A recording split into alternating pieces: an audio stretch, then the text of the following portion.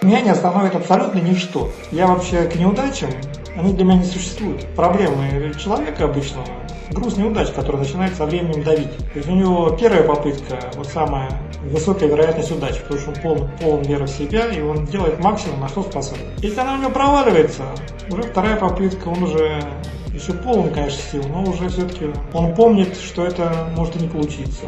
И чем дальше, тем он уже, а последние попытки уже он предпринимает по инерции, обреченно, по сути дела, полагая, что все равно ничего не выйдет. Поэтому-то и все его беда. Вот не существует этого груза неудач. Абсолютно. На самом деле, каждая попытка всегда первая. Ведь их никто про не знает про ваши неудачные попытки, кроме вас самого. Поэтому вот рецепт, как достигнуть любой цели. Забывайте про свои неудачи. Так вот вообще, если у меня что-то не получится, я в то же мгновение, как только будет возможность, приступлю к следующему.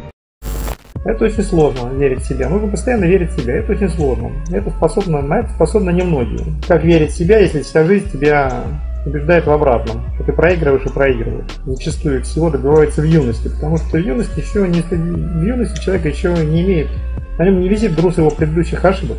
Он верит в себя.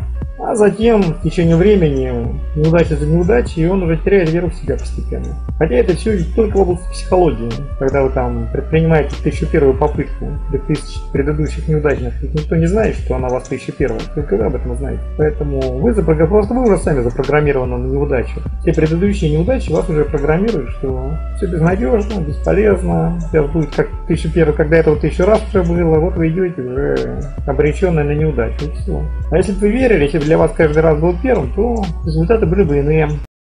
Сейчас ситуация экономического рабства.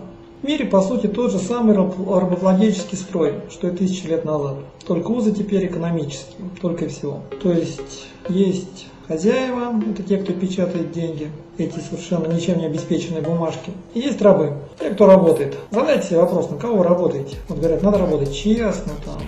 На кого вы работаете? Честно.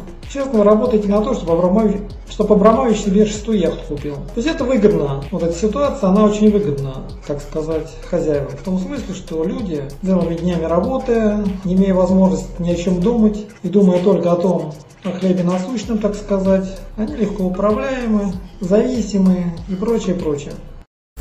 Да, человек должен работать. Но он должен работать в справедливом обществе. Общество глубоко несправедливо. На кого он должен работать? На олигархов? Вот на кого сейчас люди работают? Почему ситуация, что одни имеют миллиард, а другие ничего? Вот что вообще, вы это скажете, что люди должны работать вообще вот этим Абрамовичем? Они, наверное, очень много работали, трудились там.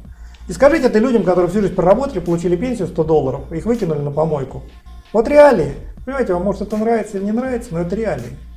А во-вторых, это термин, это тезис, что кто будет работать, просто общество будет другое. Вот сейчас, если у всех будет достаточно денег, сейчас люди работают за деньги. Это совершенно аморально. Это, по сути дела, экономическое рабство. Если вообще денег не будет, например, у всех будут деньги, точнее, будет, у всех будут их потребности, то просто другие факторы будут, например, уважение, что если, вот, например, вы что-то умеете, а другой не умеет. Вот сейчас смешно слушать. Будет, будет другой мир. Какой он конкретно будет, сейчас говорить сложно, но он будет другой. Но ну, Ненависть – это та же любовь, только со знаком минус. А минус легко меняется на плюс. Ноль только ни на что не меняется. То, что к тебе есть интерес, главное. А это ненависть или любовь значения не имеет. Минус на плюс легко меняется. Вот ноль поменять на что-то крайне сложно. А минус поменять на плюс чрезвычайно просто. Предательство – это вообще этот самый смертный грех. Он не прощается, понимаете? То есть его нельзя простить. Его можно забыть, там, сделать вид, что простил, чтобы сохранить семью. Но простить его невозможно. Это мое мнение. Поэтому, если женщина там делает вид, что простила, не верьте. Ну и вы тоже. Вот представьте себе, что вам, я не знаю, изменила жена. Ну с чем связано там семья, любовь там? Что ты доверяешь человеку? Предать можно только того, кто тебя доверяет. Вот тебя предает тот, кому ты доверял.